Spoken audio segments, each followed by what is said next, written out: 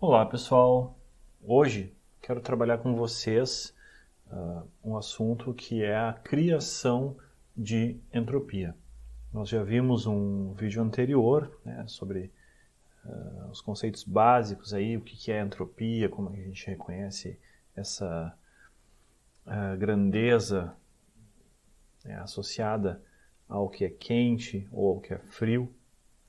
E, enfim, dando continuidade ao assunto, nós vamos ver que a entropia pode ser criada, ela não é apenas algo que está presente nos corpos, nos objetos e pode ser transferida, não, além disso ela pode ser criada. Também vamos conhecer a segunda lei da termodinâmica e uh, uma questão, né, um conceito que é a reversibilidade de processos termodinâmicos. Então, a gente diz que certos processos podem ser reversíveis, outros irreversíveis, mas muito cuidado, essas palavras aqui né, são termos técnicos em termodinâmica, elas não são à primeira vista o que elas parecem ser. Então, muito cuidado. Bom, vamos lá? Então é o seguinte, né? Uh, a gente já aprendeu que entropia ela caracteriza né, os corpos que estão aquecidos. Né? Quanto um objeto mais quente, ele contém mais entropia do que o mesmo objeto quando ele está mais frio. Agora, de onde vem a entropia que está num objeto, que está num corpo? Será que toda entropia é trazida de algum lugar? Por exemplo, eu posso pegar sol, né, me aquecer pegando sol, então estou recebendo entropia do sol. Mas Uh, na verdade, né, muitas vezes a entropia ela é gerada, ela é criada, uma entropia que não existia antes passando a existir, que nem nesse, nesse caso aqui, no exemplo da vela, né, vocês estão observando aqui uma, a chama da vela, é, tem uma, uma zona extremamente quente, né, a parte do fogo, e esse, essa região ela é, é, super quente porque tem muita entropia concentrada em pouco espaço. E de onde veio essa entropia? Bom, aí é que está. Essa entropia não veio de algum lugar, ela foi gerada, ela foi criada ali pela reação química, né? no caso é uma reação de combustão, né? Então é uma reação de combustão, uma queima e então o combustível, que é a parafina, mais o oxigênio do ar, eles estão reagindo e gerando, além de gerar produtos, estão gerando muita entropia. Então é por isso que a chama é tão quente. Existe uh, também né, outro, outra situação que é muito comum, assim, está muito presente no nosso cotidiano, em que a entropia é gerada que é o nosso metabolismo, né? O, o, corpo humano, o corpo dos seres vivos de um modo geral, ele produ uh, produz calor, né? Então produz entropia. Essa foto que vocês estão observando aí, essa imagem, é uma imagem uh, feita por uma câmera com sensibilidade térmica. Então vocês percebem que uh, o rosto da pessoa, o rosto da pessoa tem uma maior temperatura né, do que alguns, algumas outras partes, como o cabelo, o, os óculos que a pessoa está usando. Então, uh, por que que está mais quente? Está mais quente porque entropia está sendo gerada pelo corpo da pessoa. Né? Nas células, metabolismo é, consome açúcares, consome eventualmente outros materiais e, junto com oxigênio e produz alguns produtos e também cria entropia, né? libera calor. Então tá aí, né? Então de novo, né, por meios químicos, uma reação química que gera entropia.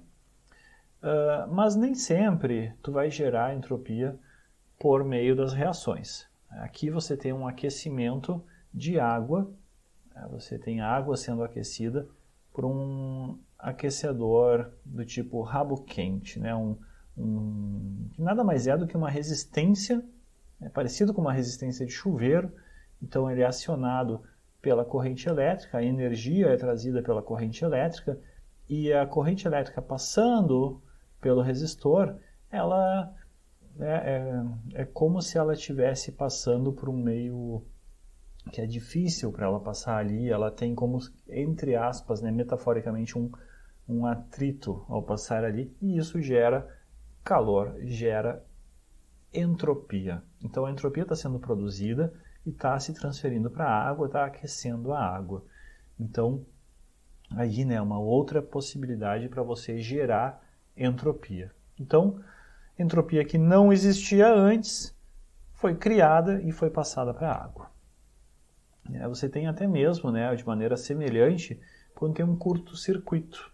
Aqui, se você conectar os dois polos, né, os dois terminais de uma bateria diretamente um ao outro com um fio, você colocou um, o sistema em curto. O curto-circuito quer dizer que vai ter uma corrente elétrica muito grande passando pelo fio e, por ser uma corrente muito grande, vai gerar muito calor.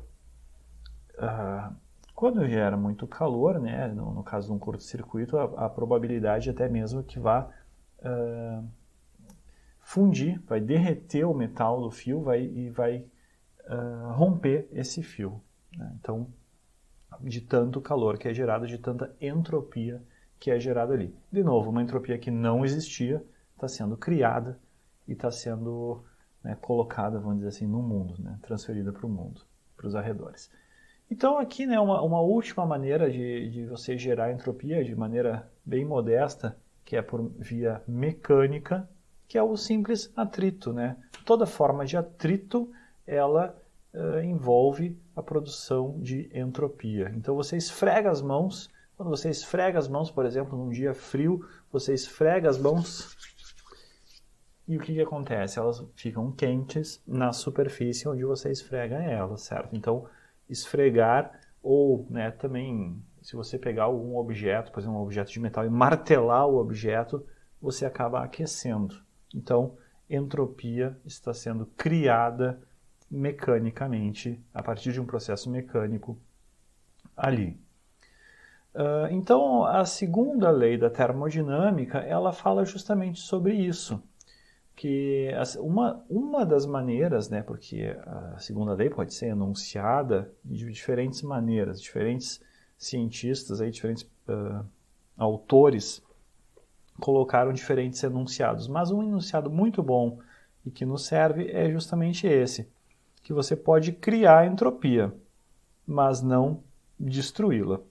Então, isso é bem interessante, porque a gente vinha falando na entropia como uma grandeza, né, uma dessas grandezas do tipo substância. Então, uma grandeza, entre aspas, tipo substância.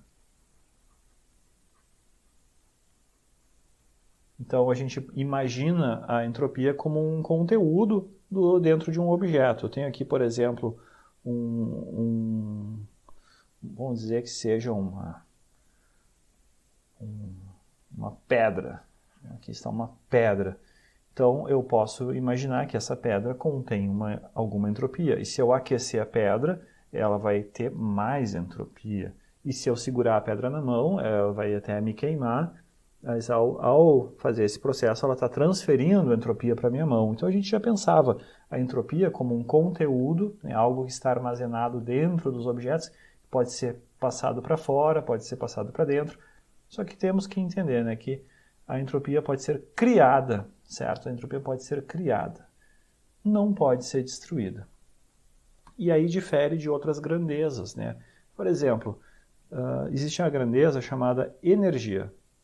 Energia, né, a gente já conhece, energia não pode ser criada e nem destruída, certo? Não pode ser criada e nem destruída. Então tá aí uma, uma diferença importante, né, entre energia e entropia. A energia é uma, é uma grandeza que a gente diz que ela é conservativa, ela se conserva. O total de energia no universo, né, poderíamos dizer que se conserva. Talvez um objeto pode perder energia, um corpo pode perder energia, mas passando essa energia para outro e vice-versa. Com a entropia, não. A entropia pode ser criada.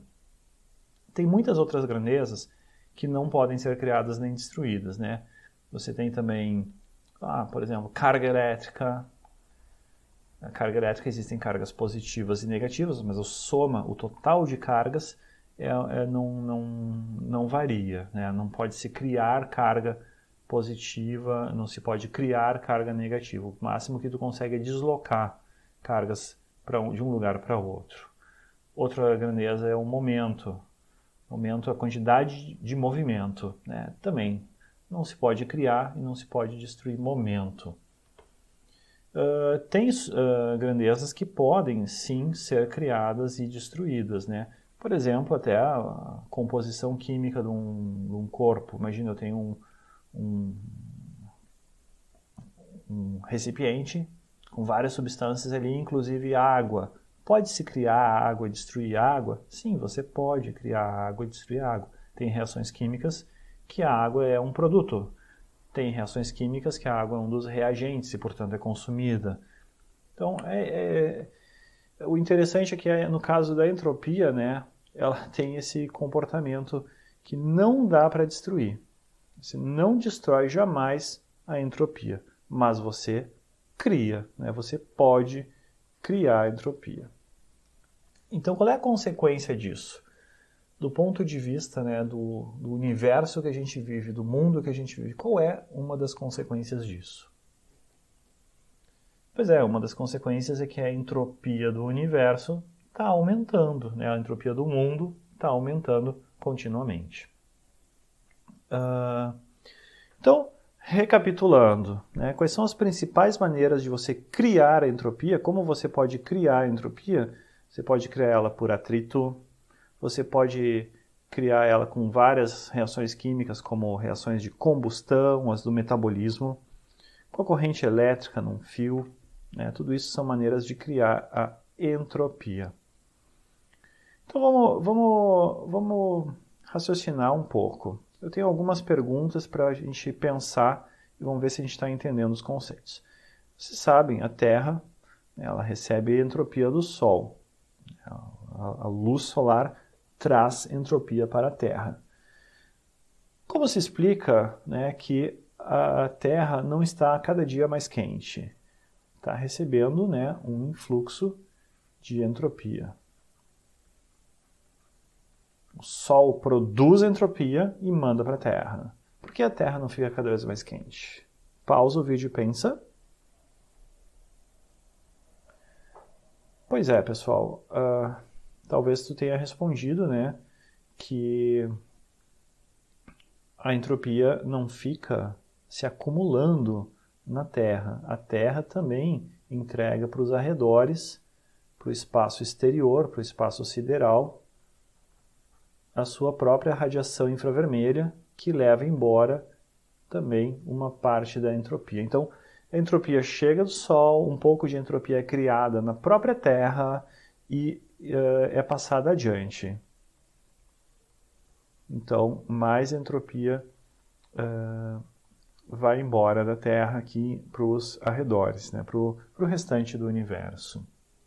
Então, o total de entropia que existe no planeta Terra ele é mais ou menos constante ao longo do tempo. Se ele estivesse aumentando, a gente estaria cada dia num planeta mais quente, certo? Então, sei lá, hoje está 15 graus, amanhã vai estar 20, depois 25, depois 30, depois 40, 50, etc. Não, mas isso não acontece.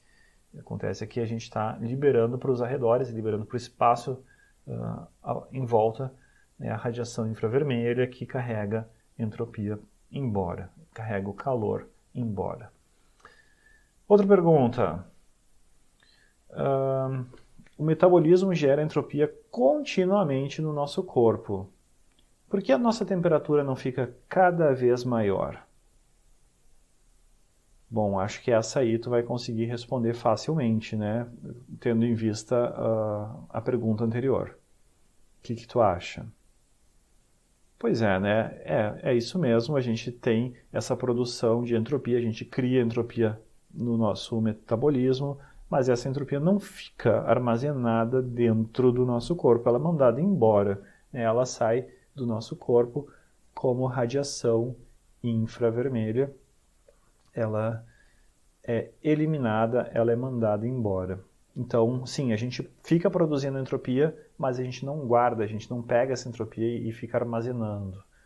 A gente poderia armazenar se a gente estivesse dentro de um, vamos dizer, de um casaco, né? Você veste um casaco, uma, um, um, traje muito, eh, muito grosso, isolante térmico, sabe? Alguma coisa, uma roupa muito pesada de inverno. O que, que a, a tendência é que a entropia vai ter muita mais dificuldade de escapar né, desse traje com isolamento térmico. E aí a tendência é que tu vai acumular um pouco de entropia, um pouco mais de entropia e a tua temperatura corporal vai acabar ficando maior. Tu vai cozinhar dentro do, do, de um traje né, mais de inverno, por assim dizer. Tá, o que, que a gente observa no universo? Vocês têm essa imagem aí, né, galáxias, uma, uma foto aí do uma parte do nosso universo. O que, que acontece com a entropia do universo com o passar do tempo?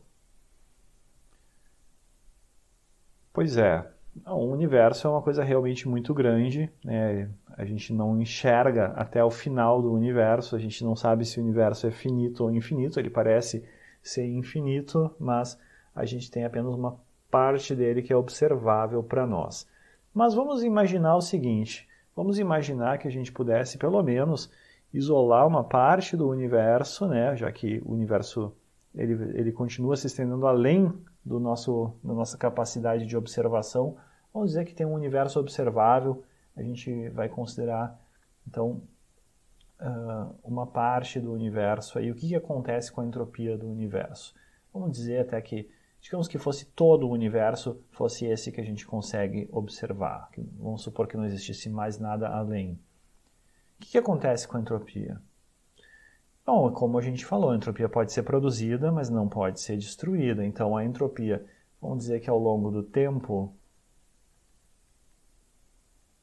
ao longo do tempo, a tua entropia ela ela estava talvez num valor mais baixo, porém ela vai subindo. Ela não pode, uh, talvez uh, não pode nunca ser destruída. Talvez ela vai subir mais devagar em alguns momentos, mais rápido em outro talvez uh, vai estacionar em algum momento e chegar no máximo, certo? Isso é, isso é o que pode acontecer. Talvez exista, né, então, para o nosso universo, um máximo da entropia e é isso, né? Ela não vai diminuir nunca.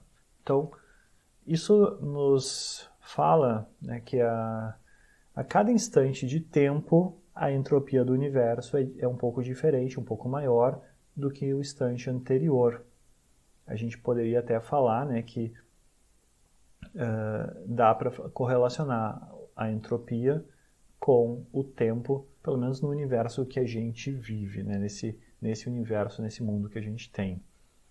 É, funciona mais ou menos como se fosse um, um, sistema isolado. Essa caixinha térmica aqui, com isolamento, ela, seja o que for que tu coloque lá dentro dela, Uh, com o passar do tempo, digamos que tem uma reação química acontecendo ali, talvez tenha um ser vivo ali que está ali dentro, ou enfim, né, não sei, alguma coisa tá, tem dentro dessa, dessa térmica, e se, o, se o, as paredes dela forem isolantes perfeitas, né, um, perfeitamente isolado o, o, o material que está lá dentro, ainda assim, seja lá o que for que acontecer lá dentro, ao longo do tempo a entropia vai aumentando, mas eventualmente atinge um máximo, certo? Então, então a entropia ela tende a atingir um valor máximo porque ela somente pode uh, ser criada e jamais ser destruída.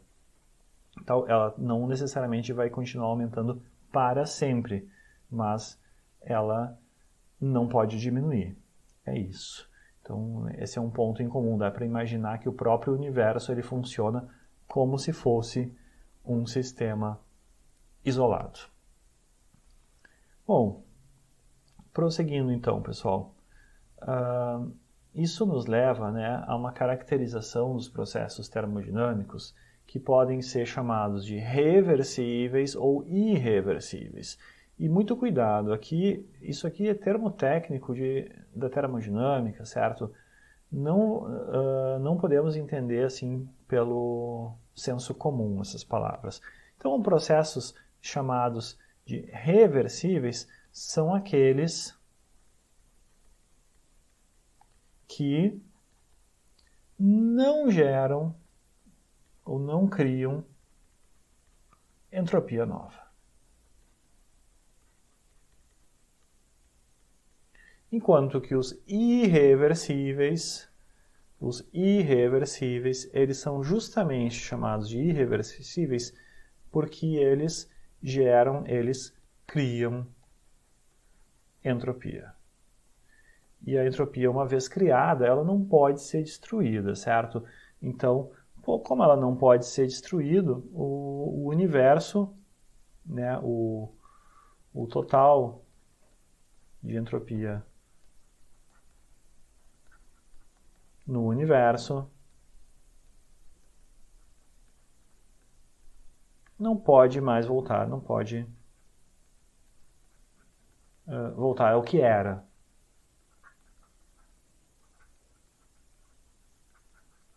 Certo? Então é aquilo.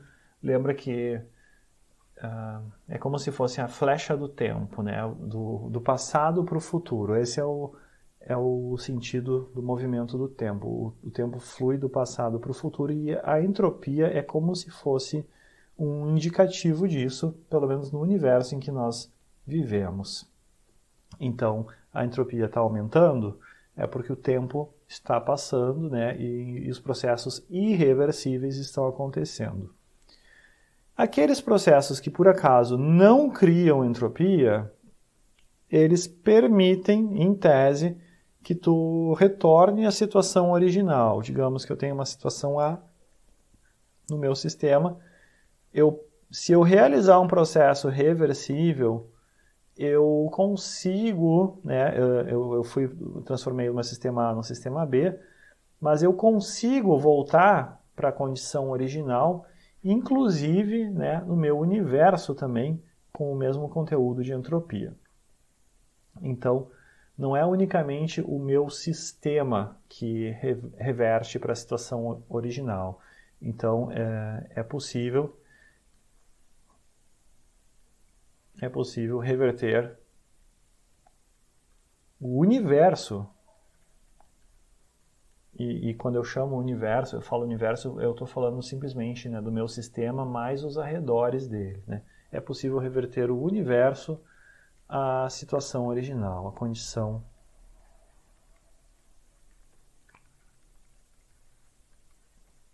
certo? Então, é isso. Já que destruir a entropia tu não pode, mas se pelo menos tu conseguir não criar a entropia, ainda tu tem uma chance né, de fazer um processo e voltar depois à situação anterior. Então, uh, é, bem interessante, né, como a gente falou, já que a entropia somente é criada, mas jamais destruída, ela funciona como uma, um indicativo da flecha do tempo.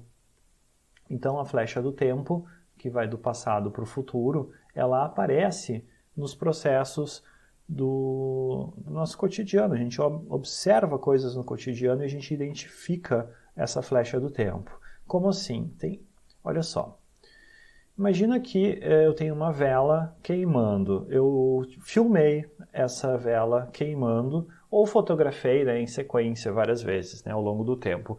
Então eu tenho uma foto número 1, foto número 2, número 3, número 4. E vocês percebem que está na ordem normal. A vela começa inteira, vai, vai sendo consumida, lá pelas tantas está bem menor, e lá pelas tantas ela sobrou só os restinhos dela e ela apagou. Agora, uh, isso tem um único sentido que é o natural, que é o sentido 1, 2, 3, 4 que eu coloquei aqui. Se eu passasse essas fotos na ordem inversa, né, digamos que eu te apresentasse um, uh, o montinho né, do, re, do resíduo de cera ali de parafina, dois, o toquinho de vela, três, ela maior e quatro, ela quase inteira, aqui iniciando, como ela é no início da queima. Você vê na, na hora, né? Se eu, se eu passar essa sequência de fotos ou esse filme nesse sentido, né? Um filmezinho, quer dizer, passado invertido, né? De trás para frente, você percebe na hora que é um processo que não é natural. Ele está fora né, do que é normal na natureza. Então, você percebe, então aqui é um processo que não ocorre né, naturalmente, enquanto que o anterior, né, uh, esse sim ocorre naturalmente. Certo? Então você, você, você tem nitidamente uma flecha do tempo. E o primeiro processo ele é irreversível.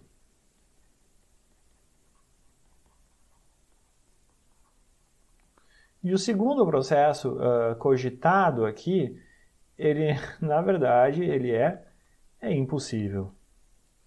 É impossível, tá? Ele não ocorre na prática. Não existe.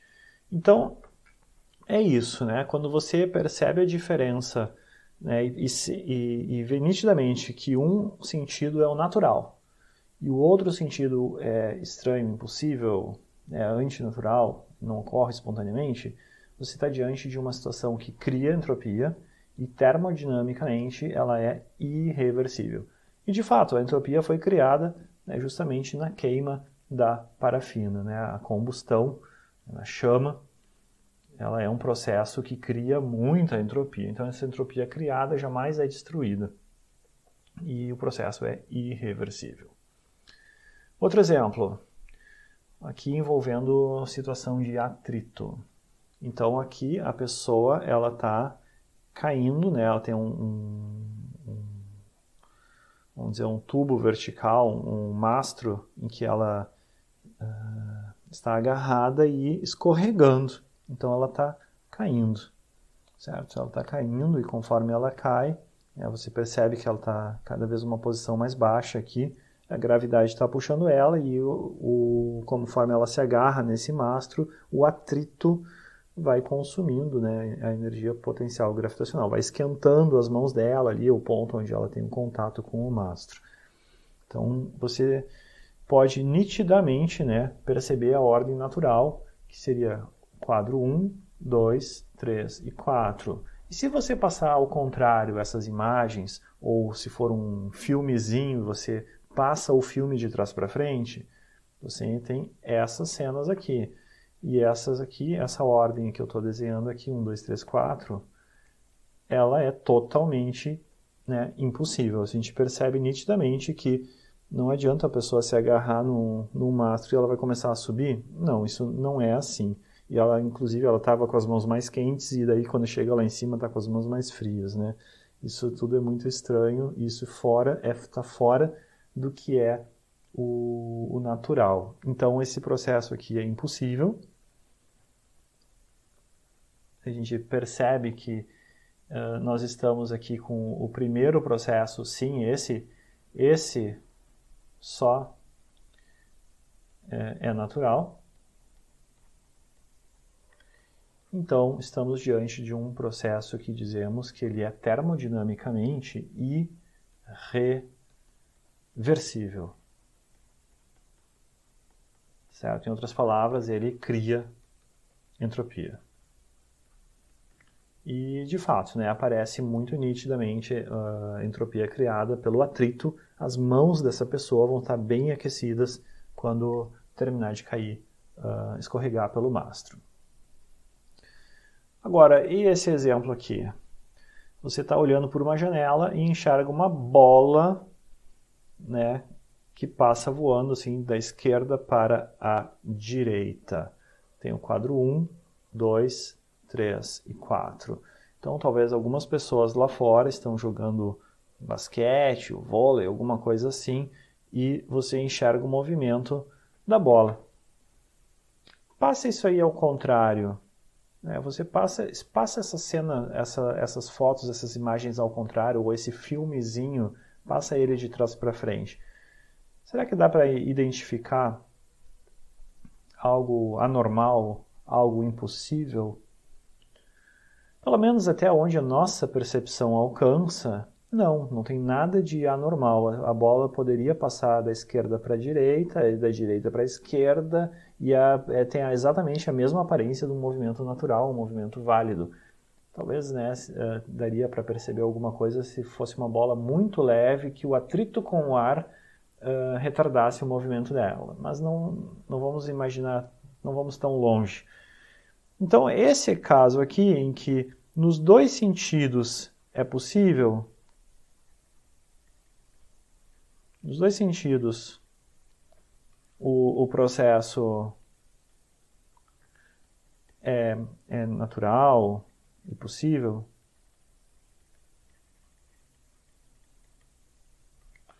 Então, nós dizemos que o processo ele é reversível. Tá legal? Então, um processo reversível e ele não vai criar entropia. Pelo menos não em alguma medida que a gente consiga detectar facilmente. Certo? Como eu falei, se o nós estamos desprezando o atrito com o ar. Se a gente tivesse um atrito com o ar uh, considerável, aí teria, né, como a gente já viu, o atrito produz entropia. Então o ar e a bola ficariam levemente aquecidos e daí deixaria de ser um processo reversível. Mas aqui, né, numa visão mais simplificada, é um exemplo né, reversível. Dá para imaginar que nenhuma entropia foi produzida.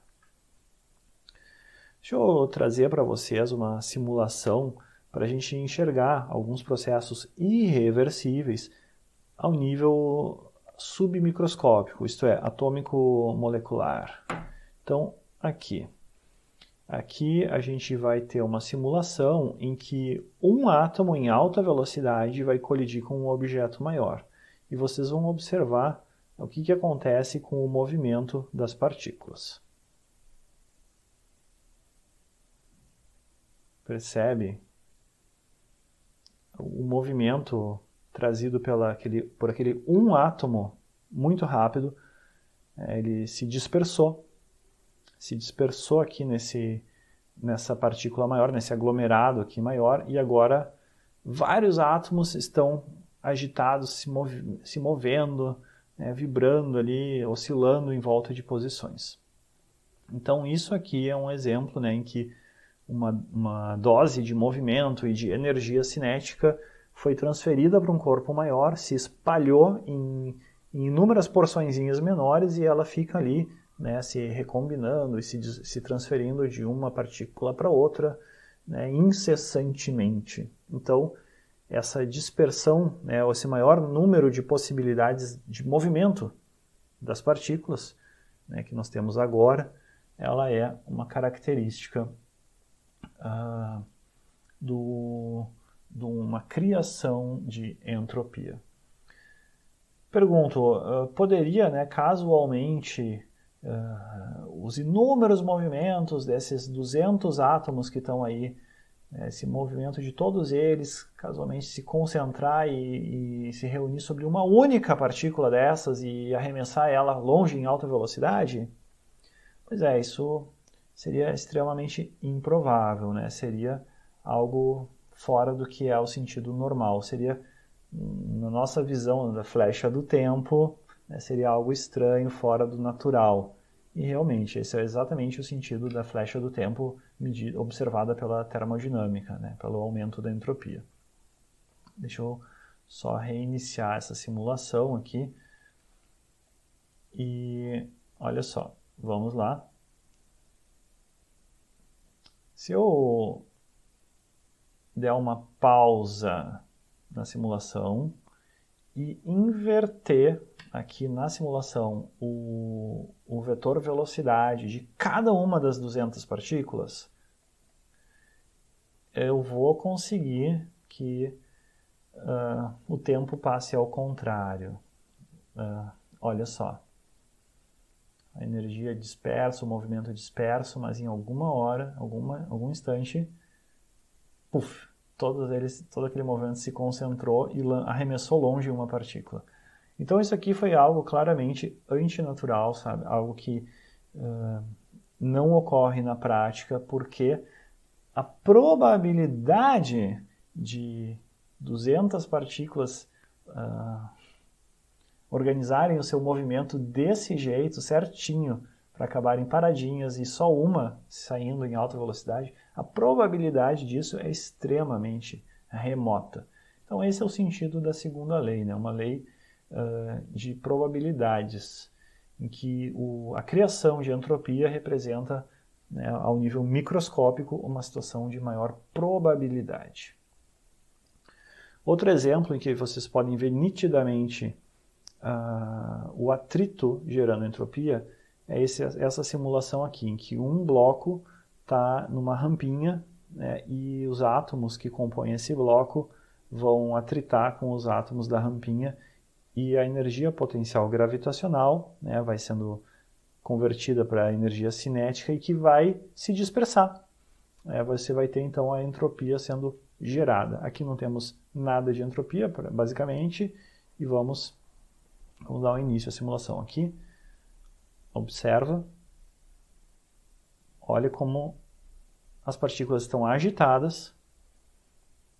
A energia que foi que veio do movimento da, da queda no campo gravitacional agora representa-se aqui com partículas agitadas. A energia delas está dividida de, entre inúmeras partículas, elas se movem, elas trocam energia, trocam momento umas com as outras, né, oscilam em volta das suas posições. Então, uma situação, situação aparentemente mais desordenada, e isso a gente interpreta como um maior número de possibilidades para cada partícula desse sistema.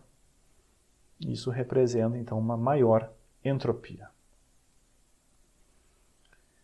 E aqui, né, um, um último exemplo, né, vocês podem ver as partículas de um gás.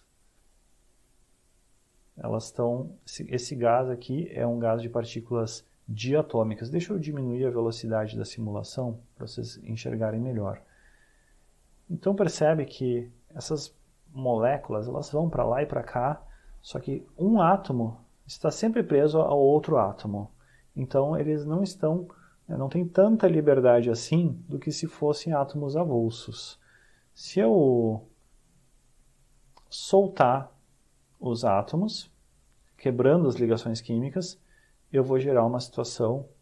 Agora, os átomos não são obrigados a andar juntos, então temos uma situação de mais liberdade, maior número de possibilidades de movimento para as partículas. E essa aqui, então, representa uma situação de maior entropia dá para dizer que se eu tinha 100 moléculas, né, 200 átomos, 100 moléculas antes, agora eu tenho 100 átomos, uh, 200 átomos soltos, né, então com maiores possibilidades de movimento.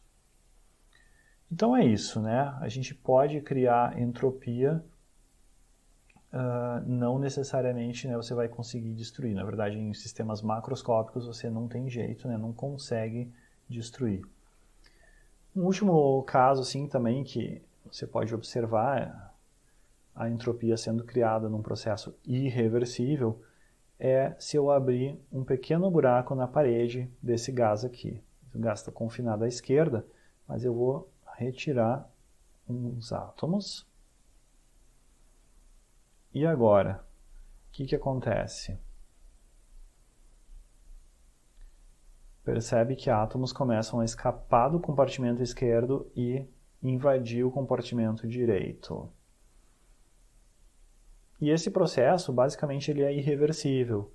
Uh, né, em, sim, em uma hipótese, né, você poderia imaginar, será que não poderia, por um simples acaso, todos os átomos do compartimento direito retornarem para o esquerdo pela portinha ali que a gente abriu? Não, em hipótese, sim, mas a probabilidade disso acontecer é tão pequena frente às, às, às possibilidades de o número de, de possibilidades em que as, as partículas estão divididas meio a meio entre esquerda e direita. É, então, por uma, uma, simples questão de probabilidades, não, você não vai ver as partículas espontaneamente voltando e se confinando só do lado esquerdo. Então, esse foi um processo espontâneo, foi um processo que criou entropia, certo? Então, essa interpretação aí uh, da entropia, como a gente falava. A entropia foi criada e num sistema, vamos dizer, que tem um, um número grande de partículas, ela não vai ser destruída novamente.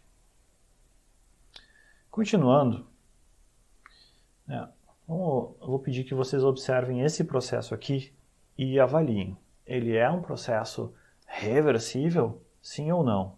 Vamos numerar aqui etapa 1, etapa 2, etapa 3. Na etapa 1, né, momento, na foto número 1, imagem 1, é gelo a 0 graus Celsius no becker, o ambiente a 25. A seguir, gelo mais água, derreteu uma parte e por fim apenas água. Bom, tá, tá bem normal isso, né? É um processo sentido natural. O ambiente é um pouco mais quente do que o gelo vai derreter. Agora, o que, que vocês me dizem do sentido inverso? É, você começa com água a 0 graus Celsius e o ambiente a 25. E daí, com o passar do tempo, forma gelo e fica tudo na forma de gelo. Isso é, é possível, uma coisa dessas? É, realmente, né? Esse aqui é impossível. Você percebe nitidamente que esse sentido dos quadros, das três imagens, é, não é o sentido normal enquanto que o primeiro sentido está ok, né? está totalmente ok, é o sentido natural. Como é que você avalia esse processo? Você chama esse processo de reversível ou irreversível? Pois é, né, gente? Aqui lembre que é um termo técnico. Ele é um processo irreversível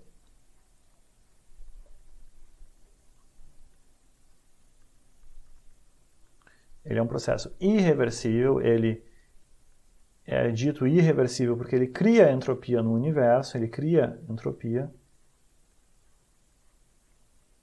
E você detecta isso porque se você passar o, a sequência de imagens ao contrário, você encontra algo que não é o natural, certo? Então, é o uso do critério flecha do tempo.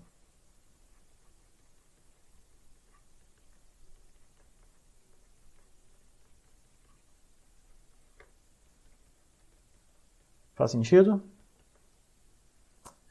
Agora, imagina a seguinte situação. Um, o Becker e os arredores estão ambos a 0 graus Celsius, pelo menos até onde o termômetro enxerga. Claro que pode ter uma pequena casa depois da vírgula que a gente não está enxergando aqui. Alguém está 0,1 ou menos 0,1, sei lá, alguma coisa assim pode acontecer. Mas até onde a gente enxerga os arredores e o nosso sistema estão à mesma temperatura, 0 graus Celsius. E aqui o que está acontecendo? A água, a água está virando gelo, certo? A água está virando gelo. Né? Imagem 1, imagem 2, imagem 3. Percebe? Isso é possível? Até é possível, né? se os arredores estiverem um pouquinho, um pouquinhozinho abaixo de zero. O termômetro não está detectando, sim, porque talvez é muito pouco abaixo de zero, mas se os arredores estiverem um pouquinho abaixo de zero, sim, vai converter em gelo. Agora, eu poderia reorganizar essas imagens. Né? Eu vou reorganizar as figuras em que você começa com o gelo. Um, dois e três. Isso aqui, essas fotos aqui, essas imagens representam uma situação possível?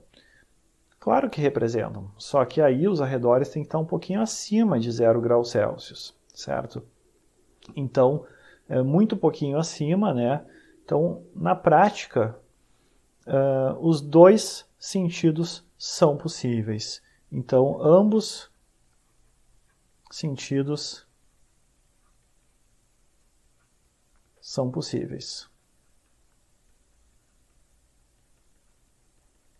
Como é que nós chamamos esse processo? Ele é um processo, então, reversível. Né? E nós dizemos que ele não cria entropia.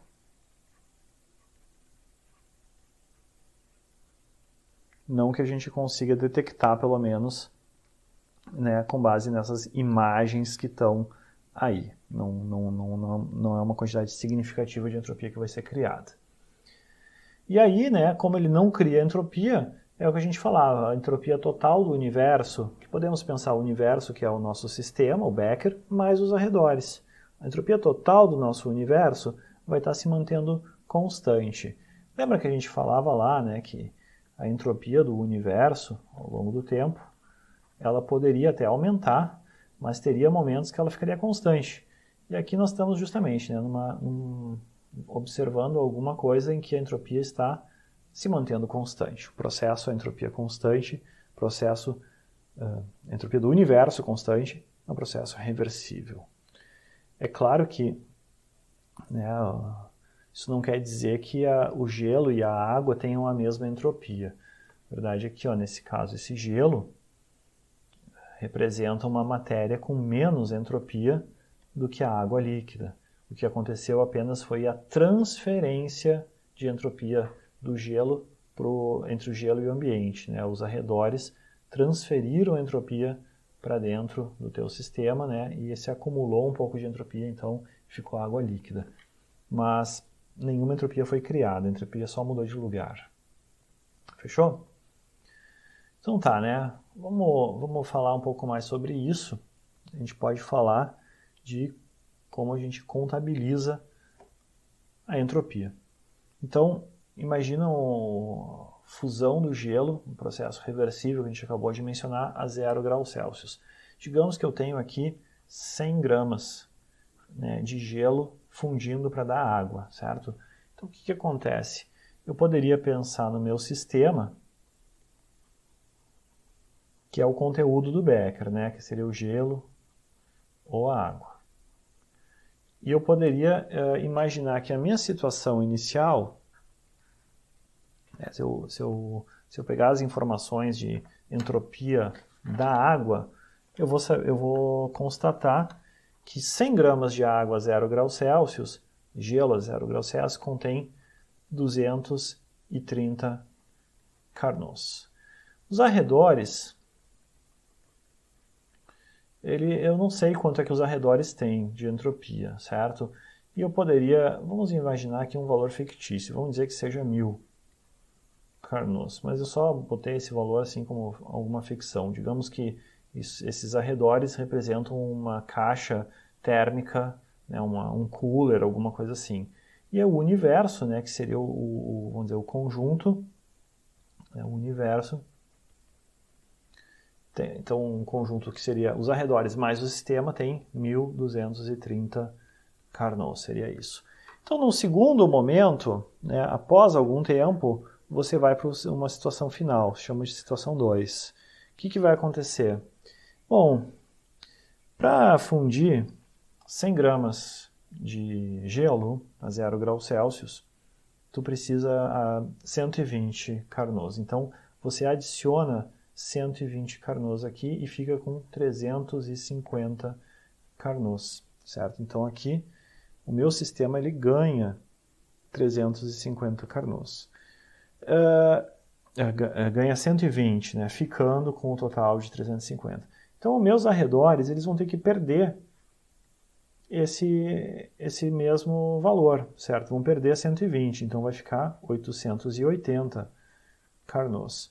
E desse modo, o meu universo, né, ele continua com exatamente o mesmo total de uh, entropia, que é 1230 Carnot. Você pode conferir, né, fazer a soma. 350 mais 880 é igual a 1230. Será mesmo? Vamos fazer aqui 350 mais 880. Realmente, 1230. Então eu posso dizer para ti o seguinte, ó, que a variação de entropia do meu sistema, ΔS do meu sistema, foi de uh, mais 120 Carnot.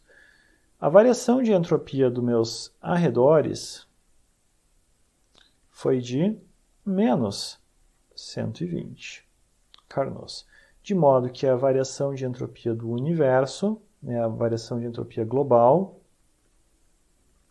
foi de zero. Fechou? Então, não foi criada e não foi destruída nenhuma entropia. Na verdade, né, o universo ele só vai ter alguma variação de entropia no momento em que for criada alguma, alguma entropia. Essa, a variação de entropia do universo, é a delta S do universo, ou ainda né, delta S global, sempre vai ter que ser maior ou igual a zero. Fechou? Outro exemplo. Um processo irreversível. Aquecimento de água com um rabo quente. Então aqui usando né, valores típicos, né, um rabo quente ele tem uma potência de 750 watts, né, 750 joules por segundo. E se nós estivermos falando do, da água ali que está fervendo em ebulição, isso uh, nós temos aqui então uma taxa de criação de entropia, uma criação de entropia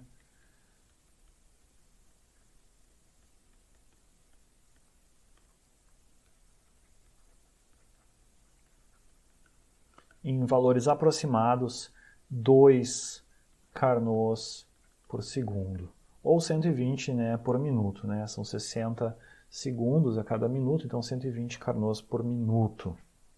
Então vamos dizer que a gente deixou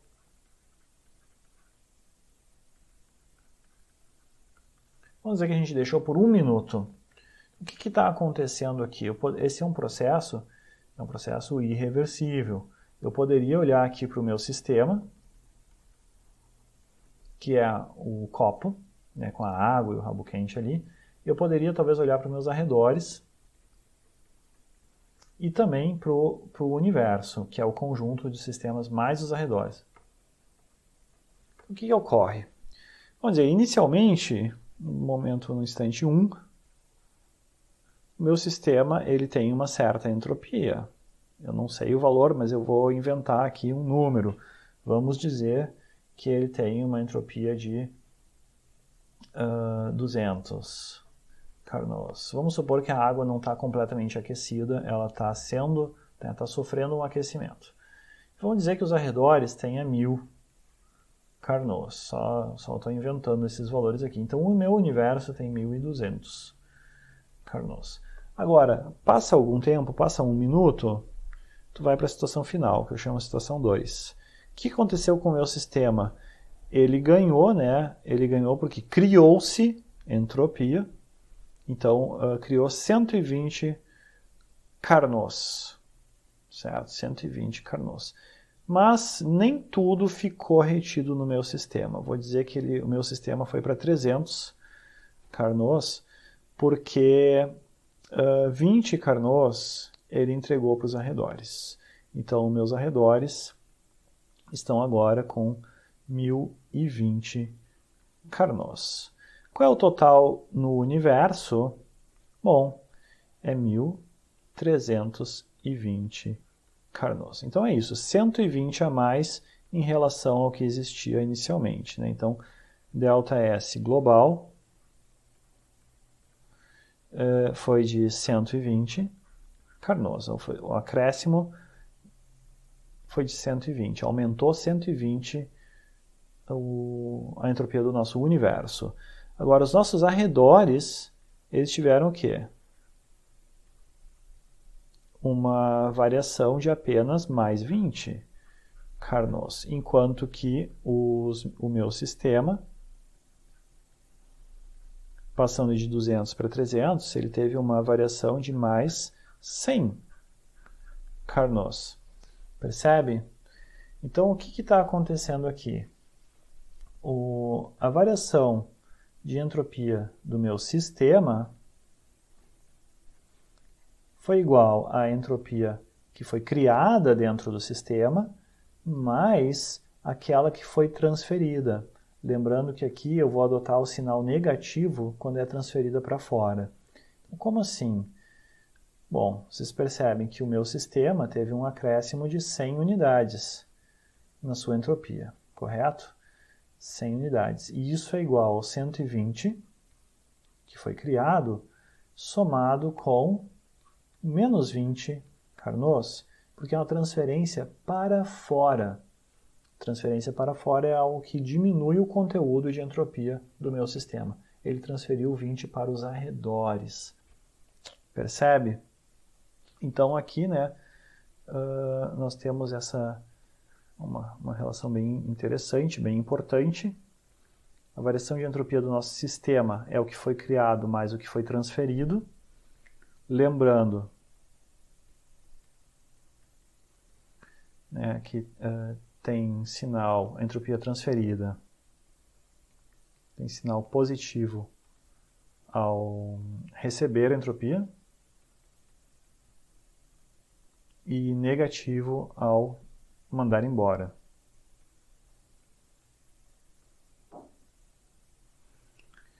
Outra observação.